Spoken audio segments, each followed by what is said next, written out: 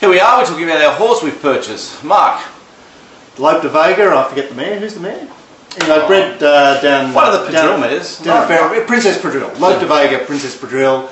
And interestingly, I did find a. Um, there's only one other horse that has been Lope de Vega out of a De- Desert Sun mare, and it's Pomelo, the Gwenda's horse. That's uh, won two out of five, and Wow. Street Tamer win by 16th out of thousand the other day at Kembla. Yeah. So uh, that's Look, an I- exciting line.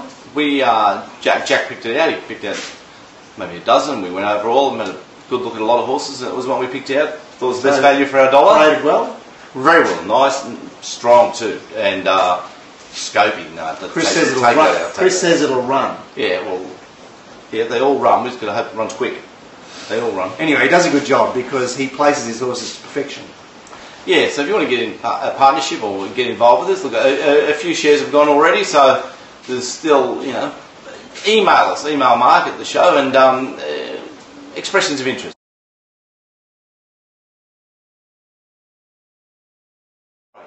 And uh, give you out there people who maybe haven't, maybe been a bit scared to be involved with a horse, or maybe scared. Well, not many people know. Not many people know how to go about being in a horse, do they? You be involved with us. You don't need to be scared because, like, you know, you what's going to no show. Yeah. We'll turn up. Probably have to buy a tie to get in the members' enclosure to watch the horse parade. All the regulation. I'll have to find some shoes because you'll have thongs on. But uh, you'll be part of Racing Rant team. It's our first ever horse, and we're excited. Yeah. So we look forward to it. All of us.